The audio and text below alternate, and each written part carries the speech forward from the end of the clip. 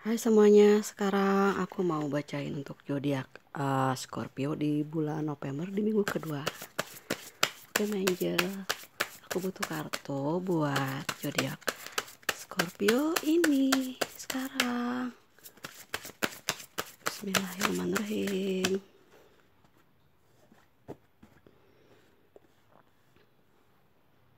Oke. Okay. Uh, Scorpio ini orangnya tuh bijaksana banget ya.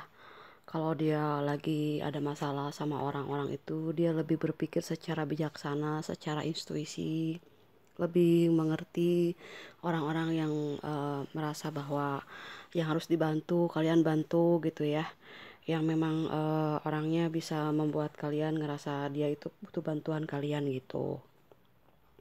Uh, ada yang diperjuangkan sama Scorpio lagi ngerasa apa ya uh, ada seseorang yang gak menghargai kalian ataupun ada pihak-pihak yang uh, ngajakin ribut gitu ke kalian gitu. Kalian mencoba untuk memenangkannya dengan cara kalian dengan kebijaksanaan kalian. Mungkin kalian udah kompromi untuk masalah-masalah yang seharusnya uh, mungkin kalian nggak salah. Kalian mencoba untuk uh, apa ya uh, memberikan solusi yang terbaik untuk siapa pun dan kalian uh, pertarungan itu dimenangin sama kalian gitu. Uh, atau yang punya masalah sama kalian. Uh, kalian itu uh, dianggap sebagai orang yang mampu menyelesaikan masalah mereka gitu. Jadi mereka tuh banyak yang minta bantuan ke kalian gitu. Nah di sini kan uh, kalian ngerasa bahwa apa ya uh, kalian itu punya apa ya kemampuan yang uh, di dimilikin gitu yang berarti gitu ngerasa bahwa saya itu uh, apa ya udah udah ngelakuin yang terbaik buat orang lain buat pasangan kalian ataupun buat teman-teman juga buat keluarga gitu. Kalian sangat mencintai apa ya uh, apa ya nilai yang ada di dalam diri kalian gitu bahwa kalian itu orang yang pantas untuk diperjuangkan oleh siapa pun karena kalian mempunyai uh, apa ya keyakinan bahwa uh, saya itu selalu uh, melakukan yang terbaik untuk siapa pun dan jadi kalian itu wajib menghargai apa yang udah dilakuin sama Scorpio gitu. Ya ini lagi benar-benar bekerja keras ya untuk uh, mendapatkan satu dukungan entah itu dukungan secara uh, materi ataupun dukungan secara uh, apa ya mungkin uh, memperjuangkan apa yang kalian inginkan uh, pasangan kalian ataupun yang mungkin ada yang mengganggu hubungan pasangan kalian gitu ya.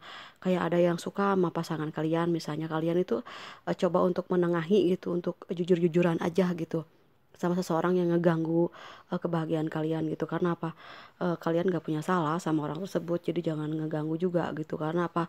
Uh, Scorpio tuh kalau udah gerak gitu kalau udah punya keputusan pasti membahayakan gitu kan Scorpio kayak gimana kayak buntutnya cut gitu ya. Bisa-bisa nanti gigit ya kan? Nah pilihan yang sekarang itu memang uh, tepat ya. Ini yang uh, masih uh, berpasang berpacaran gitu. Kalian memperjuangkan benar-benar di sekarang nih. Cewek kalian itu atau cowok kalian itu dipertahanin benar-benar. Kenapa? Karena satu-satunya yang membuat kalian ngerasa kalian hidup lagi di dunia ini gitu. Tapi kalian belum menuju ke sana belum belum belum ingin mengatakan sesuatu gitu. Ingin menghadapi uh, apa kayak ini yang masih pacaran gitu kalau yang udah putus dia masih sayang sama orang tersebut tapi belum ada pergerakan atau uh, yang udah pas berpasangan udah pacaran belum siap mau get to married gitu. Tapi kita lihat aja lebih dalam lagi atau memang udah menikah atau nantinya atau gimana ya. Nah ini kalian itu memang senang ketemu sama teman-teman kalian ya. Senang bergaul senang apa ya uh, kayak ngobrol gitu uh, heart to heart gitu. Men membicarakan tentang masa depan membicarakan tentang kebahagiaan atau ada partner-partner uh, yang percaya ke kalian gitu. Dan kalian itu sering diajakin buat nongki nongki gitu. Tapi teman kalian itu memang percaya banget sama kalian karena udah lama banget kayaknya bertemannya bukan setahun dua tahun aja gitu. Jadi uh, teman-teman kalian itu suka ngajakin ngumpul gitu.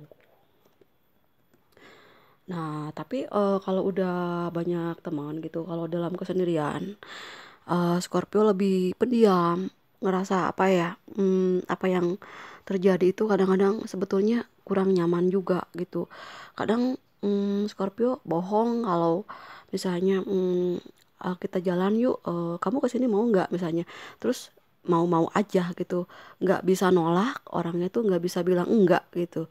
Jadi uh, gimana caranya supaya orang yang uh, butuh sama Scorpio tuh uh, tetap nyaman gitu. Tetap ngerasa bahwa uh, Scorpio harus ceria gitu di depan orang-orang.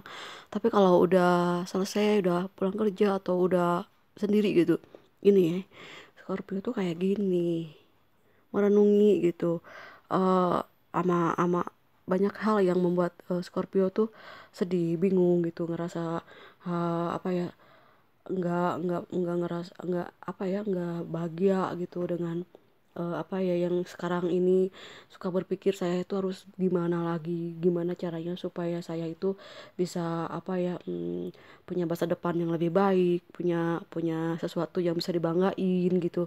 Karena kan mau gini-gini aja kayak gini gimana gitu. Pengen ada sesuatu yang lebih dari sebelumnya gitu.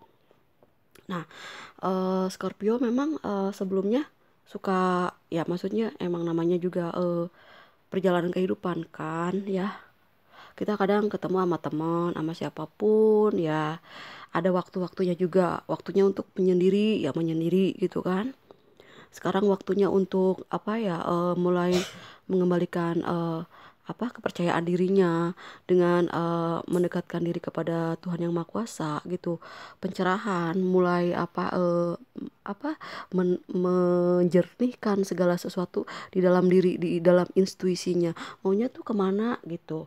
Karena apa ya? Mm, menurut Scorpio yang terbaik adalah curhat sama Tuhan gitu ngobrol sama Tuhan gitu uh, sama yang benar-benar udah nyiptain dia. Kenapa? Nggak ada yang ngerti gitu. Scorpio tuh su emang suka suka menghibur ya orangnya. Nggak kelihatan kalau Scorpio lagi sedih gitu. Tapi ya dia itu uh, kalau lagi sendiri ya bener-bener dia hening banget gitu. Apa yang saya sudah lakukan itu benar-benar baik nggak buat masa depan saya karena tidak ada yang ngerti akhirnya Scorpio lebih memilih untuk mendekatkan kepada spiritualnya itu gitu. Untuk mencoba uh, lebih ke apa ya mendengar kata hati gitu. Scorpio untuk sekarang nih. Jadi um, kalau untuk uh, hubungan uh, ada apa masalah Scorpio itu suka narik diri gitu. Hubungan sama teman sama hubungan sama pacar ataupun yang udah berkeluarga gitu. Kalau Scorpio lagi diem berarti dia lagi ada yang dipikirin gitu. Dia tuh kalau udah diem berarti berat banget gitu masalahnya. Karena kan kesehariannya tuh nggak kelihatan ada masalah gitu selalu happy aja. Ini kartu yang terakhirnya aku buka. Hmm. nah uh, untuk uh, sekarang itu di November minggu kedua ini kan udah intuisi ya udah mulai uh, apa ya uh, tajam lagi dia mulai ah kebijaksanaannya kembali lagi normal lagi gitu. Karena kan banyak hal-hal yang konsentrasi Scorpio itu lagi terbawa arus gitu ya. Lagi jenuh gitu mau ke mana gitu kan. Kadang eh, kadang rame juga belum jawab belum belum maksudnya eh, bukan jawaban yang tepat juga gitu.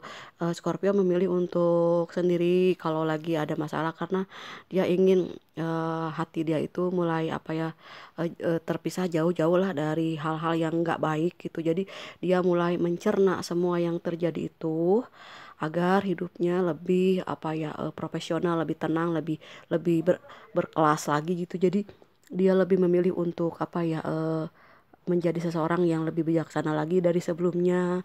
Mulai enggak meledak-meledak gitu ya kalau ada masalah. Mulai dia bisa uh, apa ya berpikir dengan jernih gitu.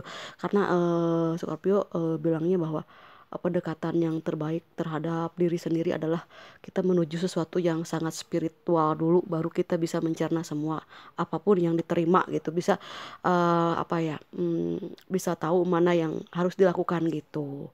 Ya spiritnya udah jalan udah mulai uh, ada pencerahan ya ke dalam dirinya.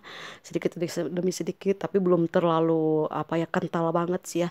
Belum tapi udah uh, ada ada ngerasa bahwa uh, setiap gangguan itu harus dinetralkan dengan pendekatan spiritual tadi bergerak itunya ya.